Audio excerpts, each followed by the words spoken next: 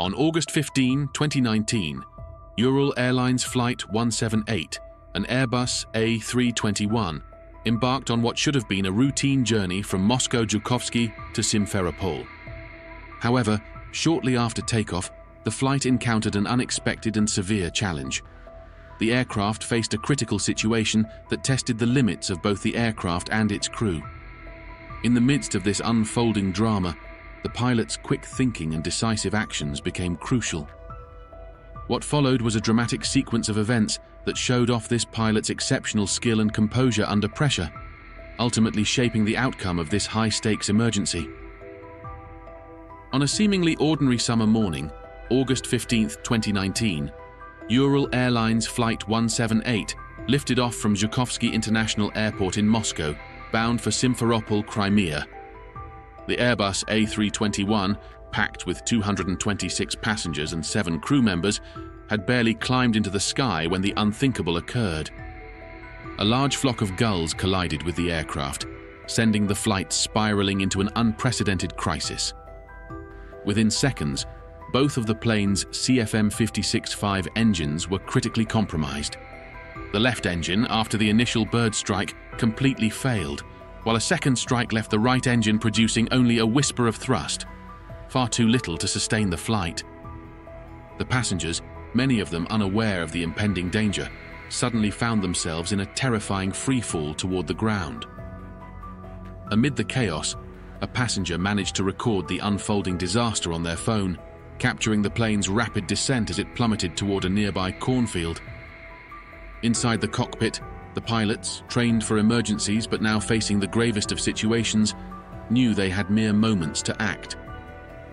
With no option for returning to the runway, they made the split-second decision to perform an emergency landing in a field just 2.8 nautical miles, 5.2 kilometers, from the airport. What followed was an extraordinary feat of airmanship. Despite the overwhelming odds, the pilots managed to safely land the crippled aircraft amidst rows of corn. According to the captain, they deliberately chose not to deploy the landing gear, believing that skidding across the cornfield without the added drag of the gear would soften the impact. While this explanation was later challenged by investigators in a leaked report, the fact remained that the decision likely played a crucial role in averting catastrophe. The aircraft screeched to a halt, battered but miraculously intact. For the passengers, what could have been a moment of unimaginable horror became a story of survival. All 233 people on board walked away from the wreckage alive. The scene of the downed aircraft, resting in a sea of corn, quickly became an image of triumph in the face of disaster. However, the relief was tempered by the realization that many had sustained injuries. The exact number of injured passengers was initially unclear, as criteria for classifying injuries varied. At the crash site, 55 individuals were treated and 29 were taken to nearby hospitals. Out of those, 23 were confirmed injured, with six requiring longer hospital stays. Ultimately, the official tally settled at 74 injured, an astonishingly low figure considering the circumstances, and none of the injuries were deemed severe.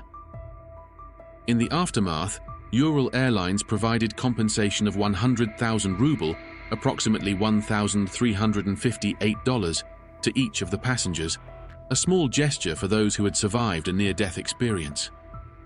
Investigators combed through the wreckage, examining the chain of events that led to the bird strike and the subsequent loss of engine power.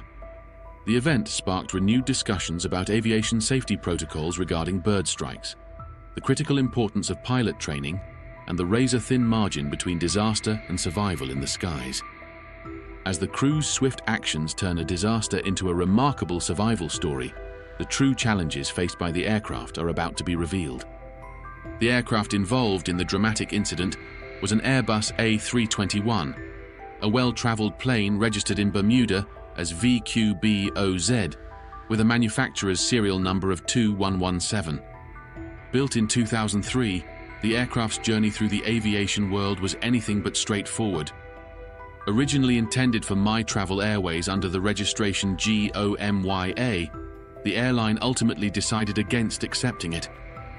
From there, the aircraft embarked on a series of transfers across different operators. First, it was passed to Cyprus Turkish Airlines, flying under the registration TC-KTD, before joining the fleet of Atlas Global in 2010 as TC-ETR. In 2011, it briefly operated for Solaris Airlines as EIERU before finally finding its long-term home with Ural Airlines later that year, taking on the familiar registration VQBOZ. After years of service across various carriers, the Airbus A321's fate was sealed during the crash landing on August 15, 2019. The damage sustained during the emergency landing was so severe that the aircraft was deemed irreparable. Beyond just a mechanical casualty, this marked the sixth hull loss of an Airbus A321, a significant entry into aviation accident history. The aircraft that had once crisscrossed the skies over Europe and the Middle East was now slated to be scrapped in the very field where it had come to rest. Ural Airlines made the decision to dismantle the wreckage on site. On August 23, 2019, the airline initiated an operation to cut up the damaged plane, bringing the story of VQBOZ to a close. At the helm of Ural Airlines Flight 178 during its harrowing descent was 41-year-old Captain Damir Yusupov, a seasoned pilot with over 3,000 hours of flight experience. Yusupovs graduated from the prestigious Buguruslan Flight School of Civil Aviation in 2013, following it up with a degree in air navigation from the Ulyanovsk Institute of Civil Aviation. His extensive training and experience equipped him with the calm and expertise necessary to guide the aircraft through its emergency landing, a feat that would be remembered as one of modern aviation's most remarkable acts of piloting. Alongside him in the cockpit was 23-year-old First Officer Georgy Murzin, a relatively new but highly trained co-pilot who also graduated from the Buguruslan Flight School, completing his studies in 2017. With over 600 hours of flight time, Murzin was still in the early stages of his career, yet his contributions during the critical moments of the flight demonstrated professionalism beyond his years. Together, the two pilots formed a coordinated and effective team, responding to the sudden loss of engine power with clarity and control. Assisting the pilots were five flight attendants who played an equally vital role in maintaining order and ensuring passenger safety as the situation unfolded. Their ability to stay composed and carry out their emergency protocols undoubtedly contributed to the miraculous outcome of the crash landing, where all 226 passengers survived. In the wake of the accident, Captain Yusupov and his crew were hailed as heroes, their quick thinking and expert handling of the crippled aircraft preventing what could have been a devastating tragedy. With the miraculous landing accomplished, the story shifts to uncover the aircraft's intriguing past and its unexpected end. The bird strike that nearly brought down Ural Airlines Flight 178 was not just a tragic accident, but part of a broader systemic issue. The proliferation of birds around Moscow Zhukovsky International Airport has been largely attributed to nearby illegal waste dumps, a growing problem that local bird control measures have struggled to contain. These waste sites, teeming with edible refuse, attract flocks of birds, particularly gulls, creating a dangerous intersection between wildlife and aviation. In fact, as early as 2012, concerns had been raised about the proximity of waste sorting facilities to the airport's runways. A lawsuit was brought against the management of one of these sites, located just 2 kilometers, 1.2 miles from the airport. Plaintiffs argued that the sheer number of birds attracted to the facility posed an imminent threat to aircraft and human life. Despite these warnings, the court ultimately ruled in favor of the waste site operators, finding insufficient grounds to halt their activities.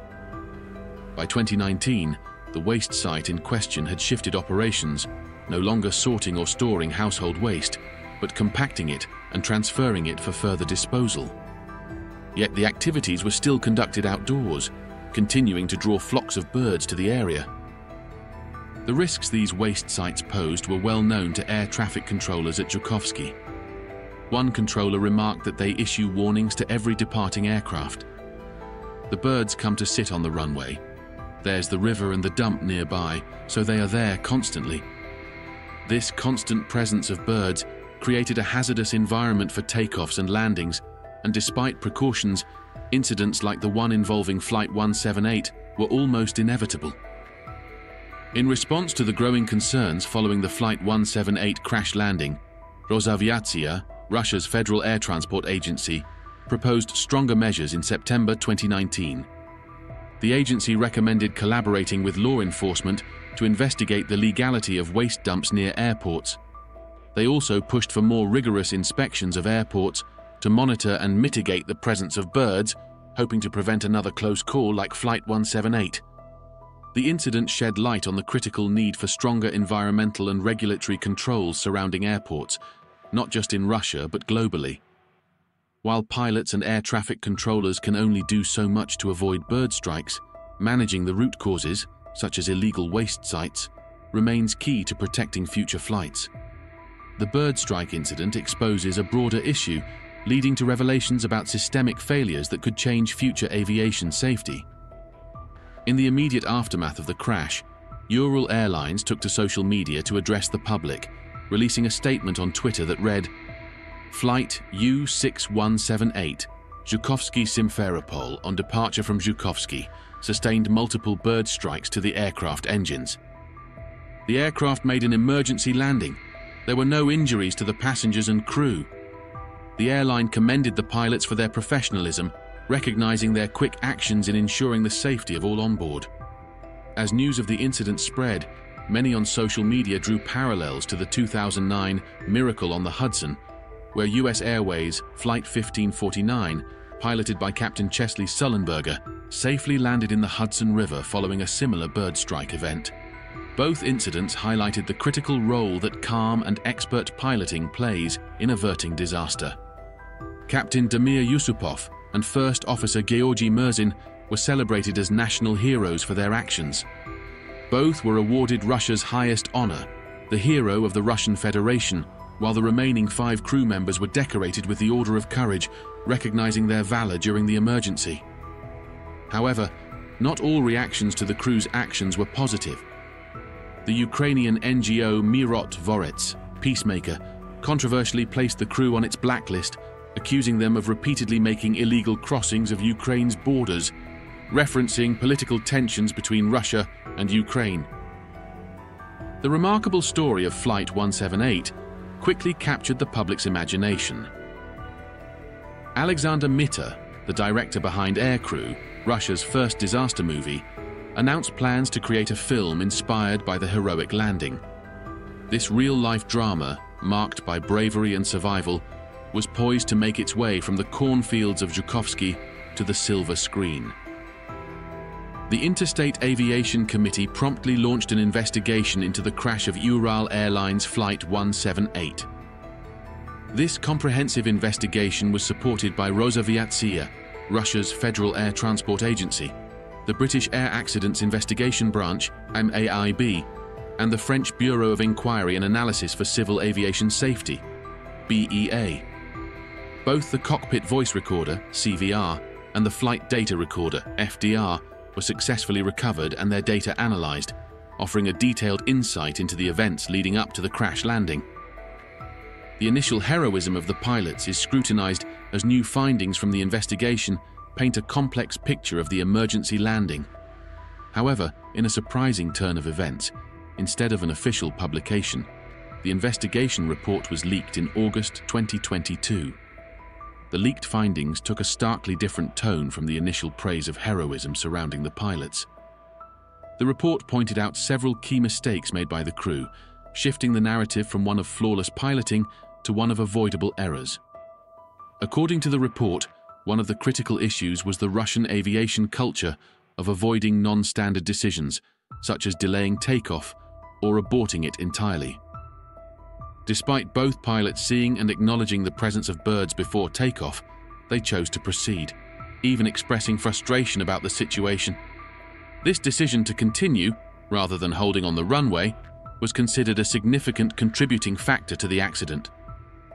Once airborne, the crew's response to the bird strike was described as disorganized. The report criticized the pilots for failing to retract the landing gear, which may have helped the aircraft glide more effectively. Additionally, They did not disable the alarm that activated after the autopilot disengaged, which likely added to the confusion in the cockpit. Notably, the report revealed that an emergency landing was never explicitly discussed by the crew during the descent, leading to the failure to shut down the engines upon touchdown, a critical procedure in such situations. One of the most contentious points in the investigation was the decision to retract the undercarriage during the final phase of the flight. While the pilots had claimed this was a deliberate action to prepare for an emergency landing, the investigation interpreted it as a last-minute attempt to gain speed rather than a carefully planned maneuver. These revelations drastically changed the public perception of the incident, raising questions about decision-making under pressure and the broader challenges within Russian aviation protocols. As the wreckage of the aircraft was dismantled, the aftermath of the crash revealed critical insights into its final moments and the impact on aviation practices. The emergency landing of Ural Airlines Flight 178 on August 15, 2019, showcased the exceptional skill and composure of Captain Damir Yusupov and First Officer Georgi Murzin. Faced with severe engine failures caused by a flock of gulls, the pilots managed to safely land the aircraft in a cornfield, ensuring the survival of all 226 passengers and crew. Their decisive actions and expert handling of the situation turned a potential disaster into a remarkable demonstration of aviation professionalism. This incident not only highlighted their heroism, but also reinforced the critical role of skilled pilots in navigating and mitigating in-flight emergencies.